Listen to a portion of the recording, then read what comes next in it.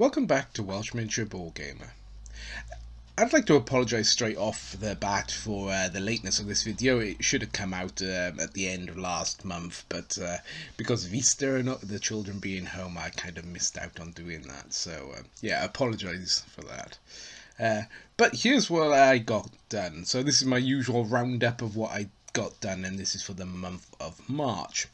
So I don't count terrain as as you know, I, I, I do paint some terrain, but I don't usually count the terrain. But I did manage to paint quite a bit of terrain, so I thought I'd show you. This is what I got done uh, during the month of March. So I got these uh, little uh, computer screens done from the Mantic uh, Star Saga game.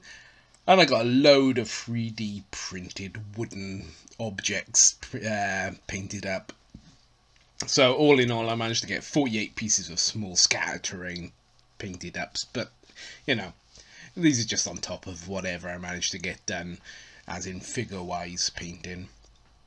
But, you know, it is good. It's nice. It's uh, good to have, because you're going to need them for, uh, like, um, Frostgrave, etc., you know. But there, there you go. That's, that's just a very quick look at some of the terrain I had done. So on to the miniatures, and as you can see I did this Dreadball team, the Convicts, and I painted them up in this kind of um, South American, you know, sort of the drug cartels with their painted faces, uh, skull painted faces, etc. Uh, this was done for the Blackjack Legacy um, challenge that he had going at the time, and there's 11 miniatures for this uh, from Mantic. So the next two are these two cowboys from the Firefly Brigands and Browncoats game. Paid up to a board game standard, nothing particularly special, but you know, they're good enough. They're quite nice little miniatures, they're, they're a bit soft uh, in detail, but they're okay. So obviously I'm back to painting two of these uh, orcs from uh, Warhammer 40k. I love doing this, I did a little bit of kit bashing, throwing a few um, plague and uh, enforcer pieces from Mantic onto them just to give them a little bit of a bit of a twist. And I really like the way the shield turned out.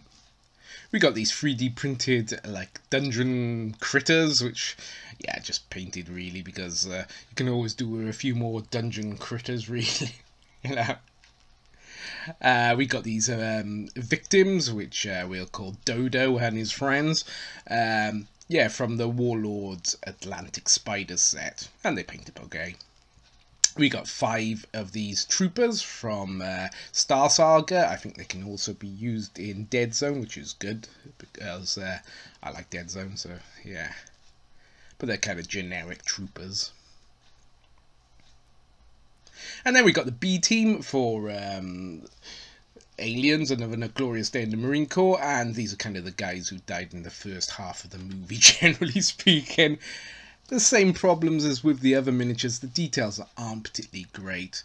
Uh, the standouts are Burke, who, yeah, why he's a standout, I don't know, but he is a bit of a standout. And uh, so is Drake, as you can see. There's some quite nice detail on them, and it does pick out quite well. So, yeah, they're, they're okay, but yeah. This is a picture of all the miniatures I got painted this month. Plus there were another four xenomorphs that somehow disappeared somewhere. but I managed to, as you can see there in the corner of this picture. So all in all, I managed to paint, um, well, taking away two miniatures because I only half what the xenomorphs are. I managed to paint 32 miniatures this month. So I managed to get my uh, one a day done, which is brilliant. And overall, there has been 84 days this year so far, and I've painted 120 miniatures. So as you can see, I'm rocketing ahead. I'm really hoping I can keep up with this, although over the holidays it's been a bit of a slow period for me painting. But until next time, goodbye, and good luck from Welsh Miniature Board Gamer.